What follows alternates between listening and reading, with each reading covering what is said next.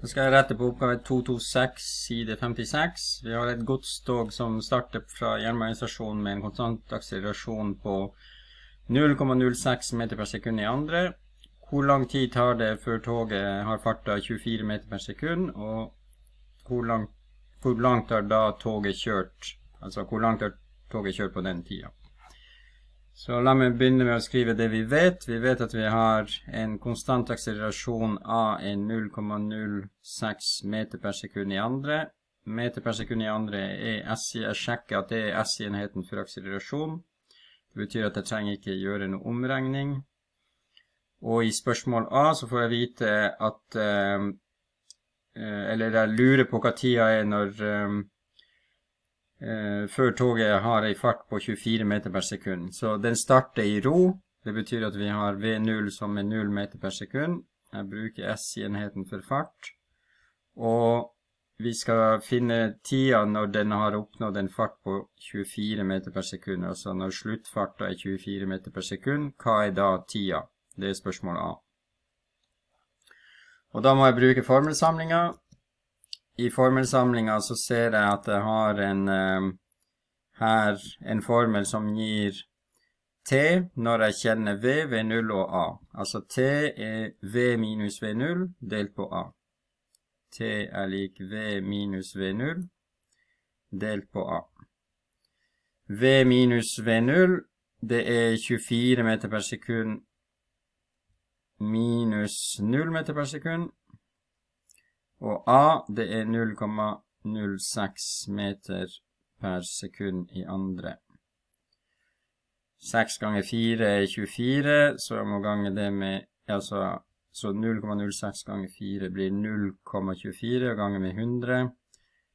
Så det blir altså 400. Svaret her er 400 sekund. 400 sekund, altså 360 sekund, det er 6 minutter.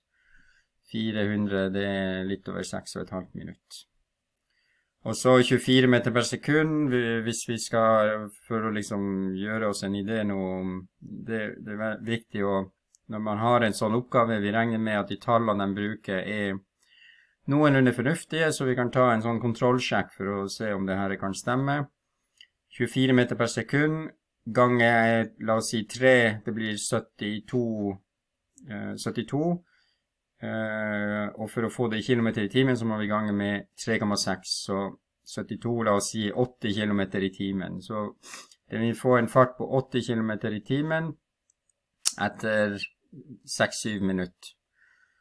Vi ser at tallet for akselerasjon er veldig lavt. Vi hadde i oppgave 222 med et fly som hadde en akselerasjon på 2 meter per sekund i andre. Altså eh, hva det blir 4, 40 ganger mer. Så ja, det, det, høres ikke fullstendig urimelig ut. Det her er et godstog, det er ikke et passasjertog. Så det, går, det akselererer veldig sakte, og det skal kjøre lenge uten, uten å stanse.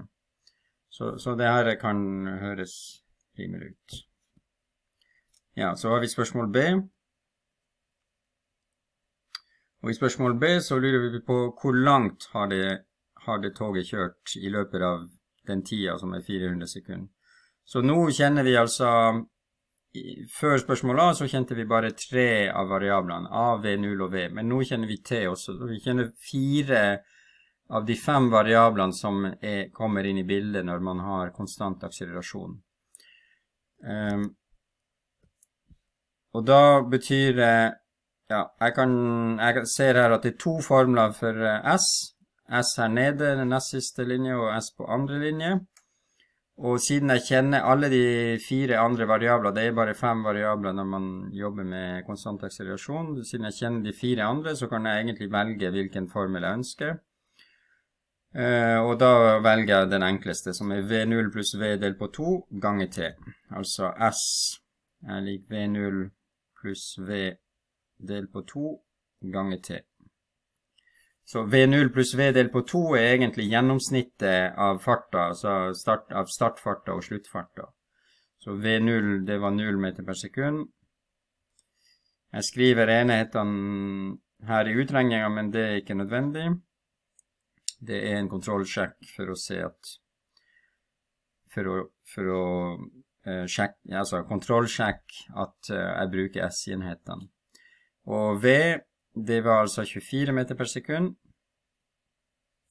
Og det her er delt på 2. Dere ser 0 pluss 24, det er 24. 24 delt på 2 er 12. og Det er akkurat gjennomsnittet av 0 og 24. Og så ganger jeg det med T, som er 400.